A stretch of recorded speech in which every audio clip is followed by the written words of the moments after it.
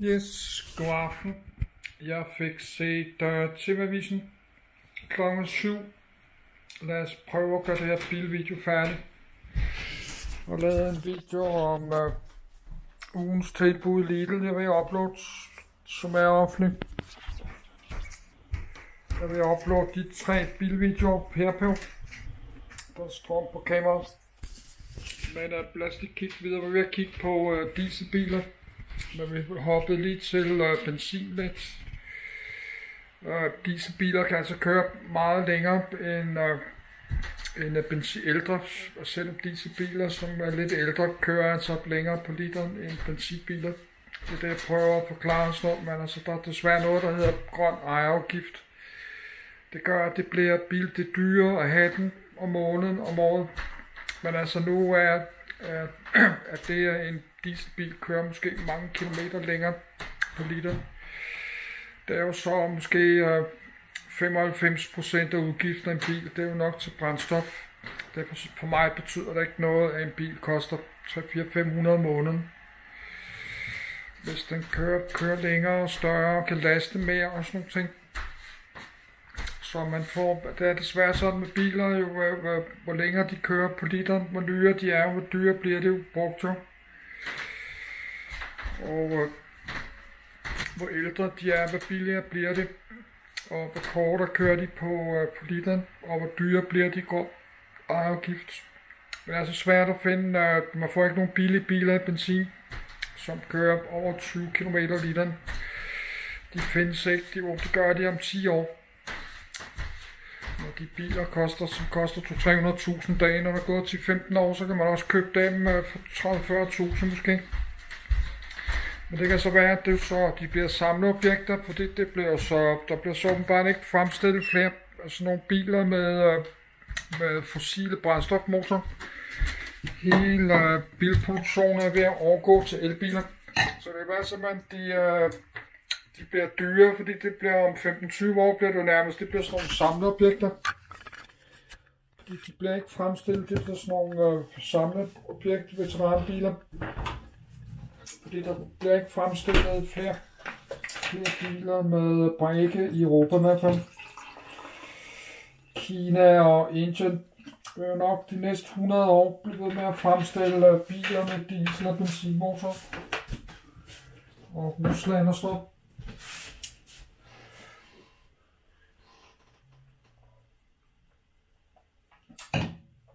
fra Kina, Indien og så. Og Rusland, det er jo ved at lave benzinbiler lige indtil den sidste trop øh, brændstof er hævet op af jorden der. Om 100 år.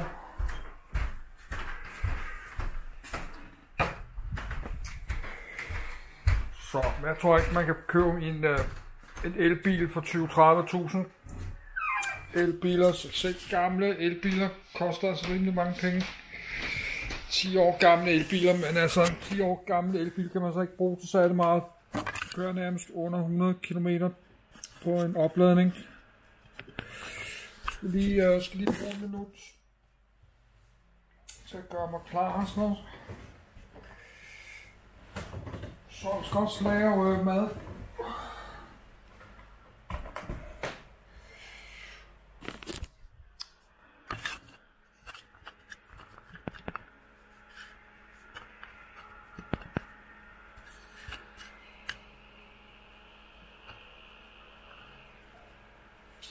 Så det er så en øh, Fiat øh, Punto, som jeg hele tiden blander sammen. En Fiat Punto er ikke en Panda. En Fiat Punto er en større bil. Den kan laste mere og trække mere. Så det er sådan en lille øh, Fiat Panda. Men ikke for at forklare det hele, men der er så forskel af Kia Picanto. Og faktisk ikke nogen dårlig bil. Fordi de er billige og kan også trække 700 kilo. Jeg prøver at forklare, at der er ikke mange af de der små biler, som kan trække, for eksempel øh, den der Fiat Punto. Det er en af dem, der kan trække allermest, som kører over 20 km liter. Så man skal helt ned øh, på 13, 12, 13, 14 km liter, hvis man skal have noget større, større benzinbil. så bliver de også dyre sådan noget, så Nej, du kan se, uh, jeg ved ikke om jeg har den åben nu, den der Peugeot er stadig åben på den der Peugeot 308 diesel, ligger helt op på 31 km på diesel og, og laster 300, og så er vi helt nede under 20 km liter nu. Så den koster, koster, hvor meget, jeg ved ikke, hvad den koster om morgen, koster øh, 1500, 1500 årligt. Men altså, den koster så heller ikke 37.000, koster altså også 70.000 sådan en. Stadigvæk kæft, så det er altså ikke det samme bil, sådan en kan man få for 15-20.000. Og en uh, Fiat Panda Twinner ligger så blå på 40-50.000 før, men de er jo så røget under 40 nu. Fordi der er jo stadig gået lang tid. Det er jo tre år siden, jeg begyndte at lave det video. Så de falder, så er der ikke lang tid, man kan få sådan en her på 30.000. Om 2-3 år kan man få sådan en Fiat Panda her for, for under 30.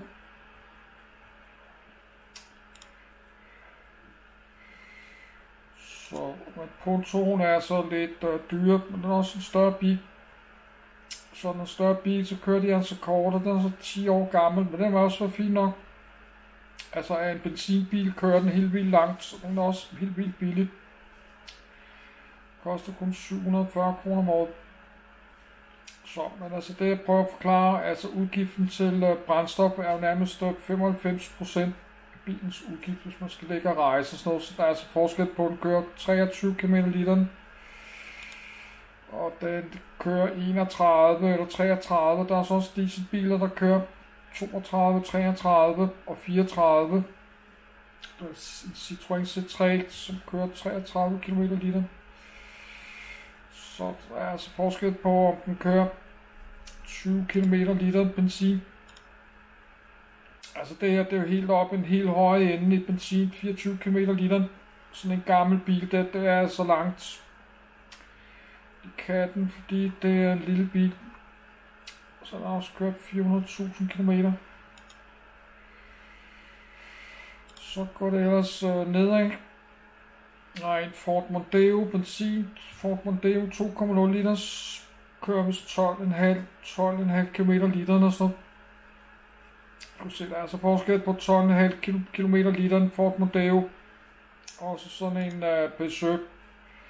Den kører nærmest dobbelt så langt på literen sådan en. Så tror jeg på, og så er den også billigere, billigere end Ford Mondeo. Om året. Så der er en Fiat Panda Twinner her til øh, uh, 40.000.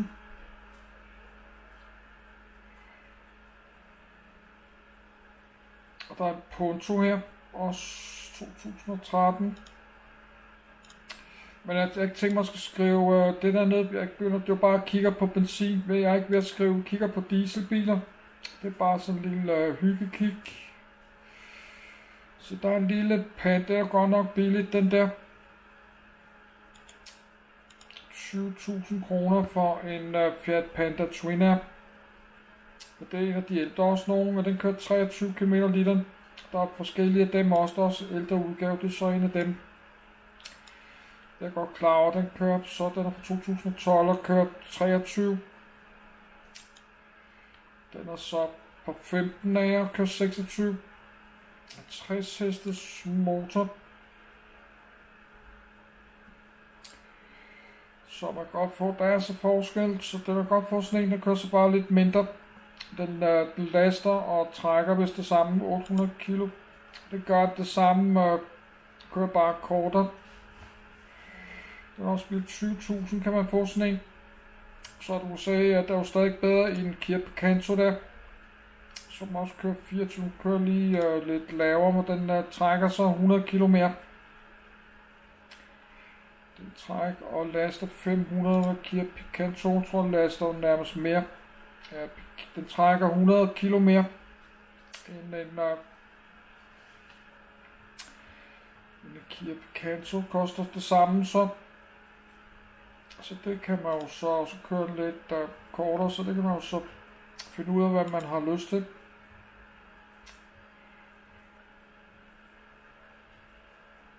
Det er også en fin bil øh, til 20.000, som kører langt på literen og billig. Altså til den der 700 og alt, når den kører over 20 km literen, er det til den billigste 740 kroner. Så alt over 20 km literen er vildt langt, når det er benzin.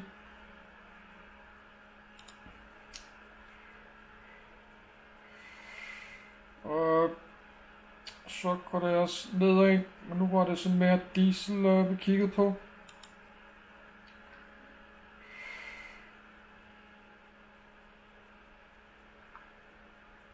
Så det er alle, alle de der over 20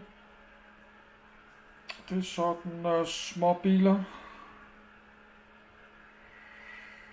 Men man kan også godt få øh, uh, BMW, BMW 318 eller sådan noget, der nærmest kører 20 km liter. Jeg kan godt forstå, men de koster så flere hundrede tusind brugte. Se, vi er på tre, men der er mange af dem. De er også her et eller andet sted, men jeg har ikke tænkt mig at bruge øh, time på at kigge på det her. Jeg skulle ud og lave mad og så. så der er mange af dem. Vi er på 23, 3.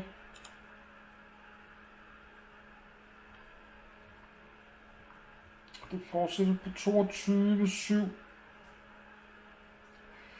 Så det er, jeg ved ikke om det er en gammel, jeg tror det, den der kan heller ikke trække noget. Den Suzuki Alto, som kan trække 760 kilo, den er endnu ældre end den der. Det er også en nyere model. Den kan kun trække 200 kilo eller sådan.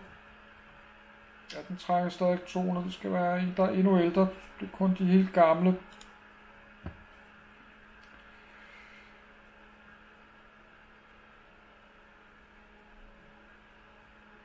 Til dig der fra 2009. Man kan se den, at den er så mere firkantet.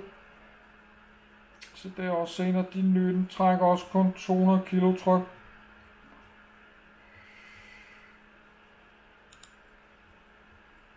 Ja, trækker stadig. Den skal være ældre endnu.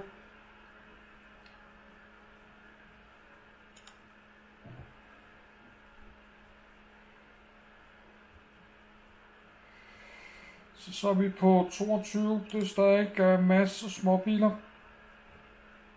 Nej, vi er på 22 km literen.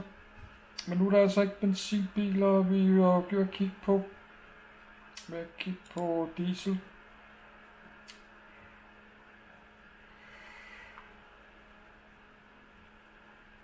Så man kan altså ikke få en uh, gammel Ford Mondeo stationcar, som kører 22 km på literen øh, i benzin.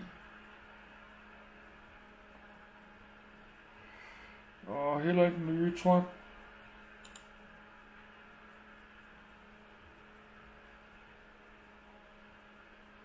Så det der, sådan en Peugeot, som står til at køre 31, er helt vildt langt op. Og sådan en Ford Focus diesel, som står til at køre 29. Det den der Ego, jeg ikke får skrevet den ned. Og det er to forskellige motorer, den kører så kun 23 km liter, men det er jo stadig i forhold til USA 23 km liter, det får man jo dog nok. Sådan en gammel Fiat Panda der, den kører lige så langt som en gammel Fiat Panda. Jeg vil hellere rejse, jeg vil hellere rejse sådan en her, en gammel Fiat Panda så meget, der er meget mere plads i. Man kan bo og sove sådan, ikke? Så det er det, jeg øh, kigger på. Så lad os lukke øh, nogle af de der ned. Det er ikke benzin, vi kigger på nu. De der Fiat Panda og Punto der. Lad os lukke øh, den der benzin med og hoppe tilbage til vores diesel med den der Citroën Grand C4 Picasso fra 2012 og 13 til sommer 14. Den laster, den laster muligvis helt vildt godt 855, så den kører rigtig langt hos 25. Altså hvis den kan køre 16-17 km på literen, og 6, 6 mennesker deler benzinen. Man kan nærmest køre frem og tilbage til Spanien øh, for 1000 kroner, hvis der er syv mennesker. Det har jeg lige regnet ud, syv mennesker. giver 7.000 til brændstof. 7.000 divideret med 16 kroner literen. Det er, er det 440 liter brændstof. Jeg skulle sige, den kører, det ved jeg ikke, jeg skulle sige, den kører 16 km literen. 440 gange 16. Det er altså det 7 7.000, 7.040, det er 7.000 km. Så der kan altså køre nærmest fra København til Malaga. København til Malaga i Costa del Sol.